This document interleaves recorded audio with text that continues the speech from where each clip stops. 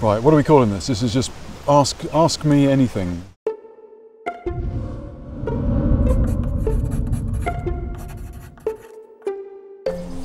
Do you ever talk to fish? Um, I sort of, I, I sort of imagine myself as a fish a lot of the time. Um, when I'm trying to catch fish, I, I, I sort of, you know, look at like here, you know, where, where if I was a fish, where would I be? And how, how do I decide where to be? And it's all about, it's, you know, it's about comfort, it's about safety, it's about finding food. Um, but it's a, it's a non-verbal thing. Fishing is, you, when you're fishing, you are in a non-verbal space mostly. Um, so I, I tend not to verbalise, and that's actually why when you know when I'm on camera and when I hook a fish, why, why if I ever say anything, it often comes out fairly nonsensical and gibberish-like because I'm you know I'm not in that verbal space at the time. What's your most embarrassing moment?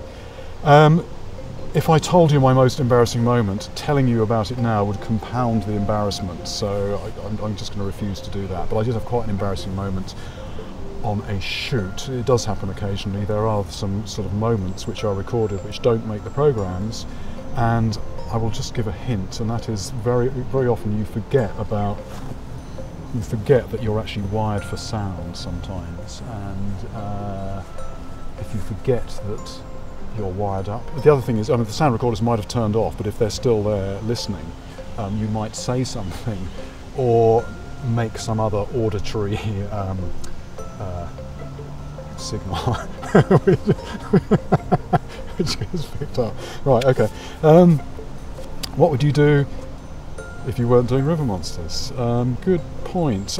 Do you know, I think what I would be doing, I would actually be travelling to um, remote rivers and lakes in the world and trying to catch um, big ugly fish out of those places. I'd sort of be doing the same thing, but without you know, without people like like you uh, following me around, and you know, doing it without people like you would sort of it would partly make me sad. But I say you, I'm, although I'm talking down there, there's actually somebody there and there and there, and um, you know that would make me a bit sad. But also, be, you know, I, I like being solitary when I'm when I'm fishing as well as, as being sociable.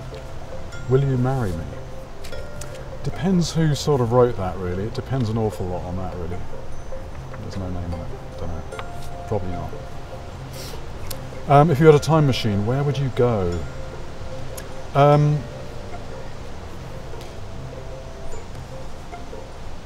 I often go the, the places where we make the programs. Um,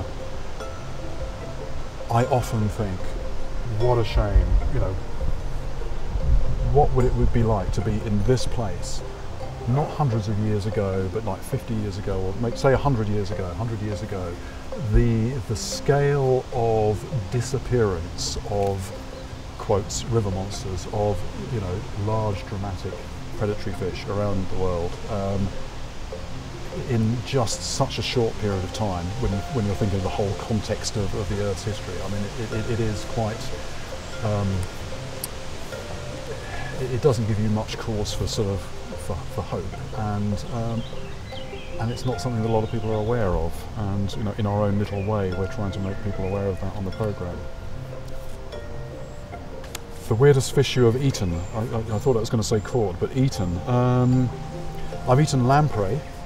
Lamprey is, is a very weird fish. Uh, they are they're, they're, very primitive. They, they look almost like it's almost like a wormy thing about about that size. Um, they don't have a they don't have a backbone. They have rather cute little eyes, um,